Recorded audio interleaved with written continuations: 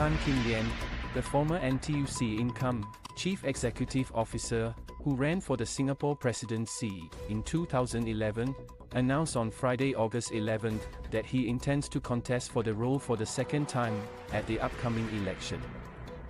The Straits Times reported that Tan, 75, launched his campaign in a media conference at Copthorne Kings Hotel on the theme of Bring Back Trust, Give Us Hope.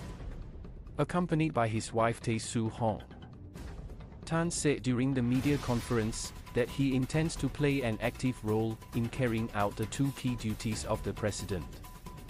The two key duties are the use and investment of the reserves and the approval of recommendations of those to be appointed into the top levels of the public service.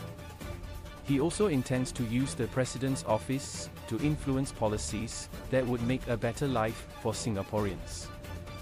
Tan contested in the four-way presidential election in 2011 against Tan Cheng Bock, Tan Jee Say and eventual winner Tony Tan.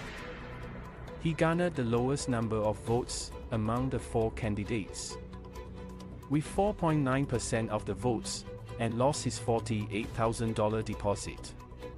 On Friday, he introduced Tan Jee Say as his proposer.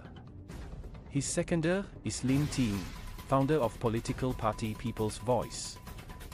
Prabhu Ramachandran, a former candidate for PV at the 2020 general election, was introduced as Tan's principal election agent. Tan is the fourth potential candidate to put himself forward for the presidency. In the past two months, former Senior Minister Tharman Shanmugaratnam, entrepreneur George Goh, and former GIC Investment Chief Ng Kok Song had also announced their intentions to run for presidency.